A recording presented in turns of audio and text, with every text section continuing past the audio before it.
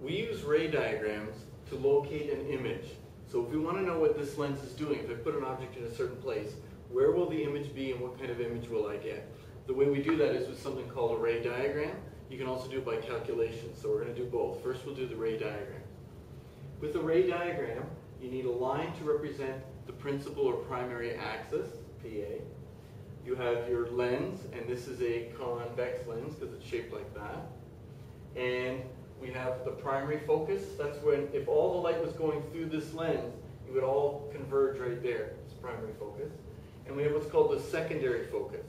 And that is something on the opposite side of the lens that's the same distance from the as a primary focus. In fact, this distance here is called the focal length.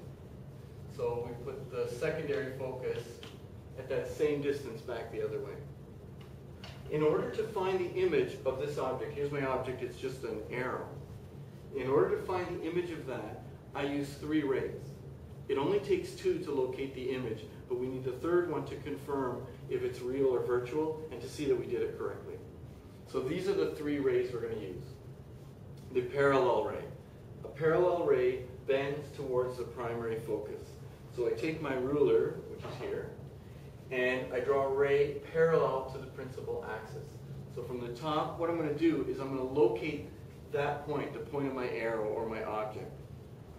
So I take this and I draw a line parallel to my principal axis. And that line is the parallel ray and it bends towards the primary focus. So I'm going to bend it through the primary focus and continue it right on through. That's where that light ray goes. The second ray is called a center ray. It goes through the center and just continues in a straight line. So that's very easy.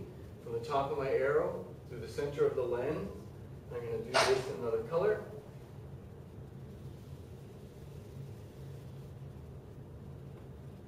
There is my center ray. So I've got two of them there. That means I've located my image. My image is going to be right here. And that's the top of the arrow, so there's my image. I'm going to label it height of image. This is the height of the object. And my image looks a little bit smaller and it's inverted.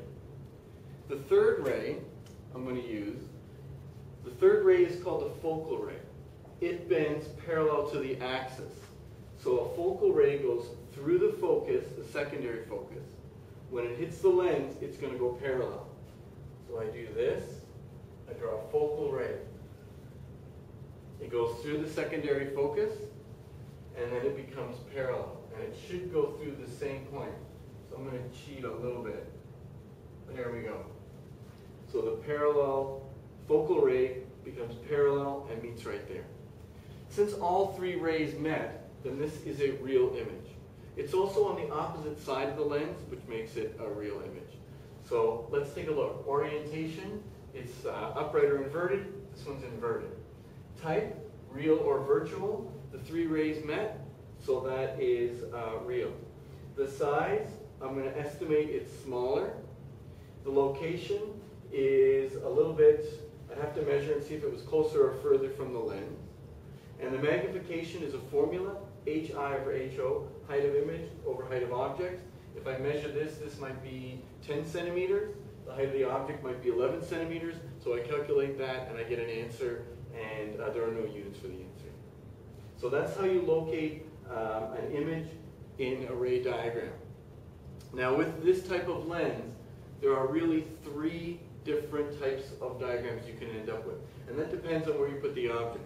If the object is further than the focal length, you get one type. If the object is closer than the focal length, you get another type. And if the object is right on the secondary focus, you get something else.